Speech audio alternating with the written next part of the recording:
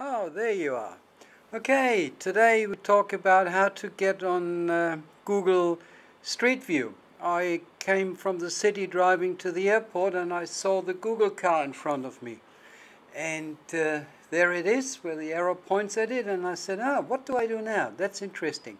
I would like to be on the images. So I remember a friend of mine drove too close to the Google car and none of these images were ever used. So I said to myself, I better keep a little bit of a distance and then um, I can be sure I will be on Street View. So I fell back a little bit and uh, made sure that um, there was enough distance between the Google car and myself and I kept following it and um, always kept the same distance. Maybe just enough for other cars not to butt in but um, still far enough so there would be um, there would be uh, a good distance. And um, another thing I found out that um, Google is not using all the images they're taking. Um, there is a patchwork of images that um, you see. So when I came around the corner where I saw the Google car first, there were quite a few images. This distance here, there were none. There was one after the traffic light, and uh, I blend that in on the top right. And um, then was for quite a while, again, nothing.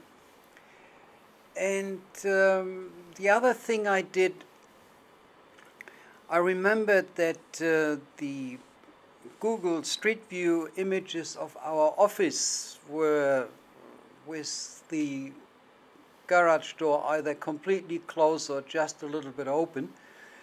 So what I did after I saw all these, for the next uh, two days afterwards, I parked my car outside in front of the um, of the roller door.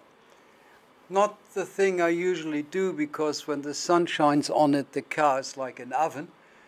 But um, I got the required results. That car is now on Google, Google Street View. So here we start having the images again.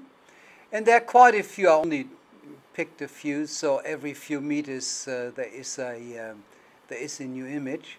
You barely see the difference between them.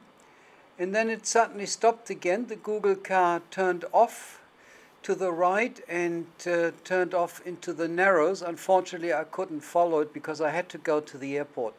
So I didn't have the time to, to hang around. And here you see an older image of our office, with the roller door slightly opened. And um, yeah, our emblem right on top of the door. And uh, the side uh, view of the of the office with the two uh, shade cloths to make it possible to wash the car during the day and now you see my car standing in front of the roller door. I have no idea when these images were taken but my idea to leave the car out for two days worked rather well. Yeah, I'm very happy with that. See you later. Bye bye.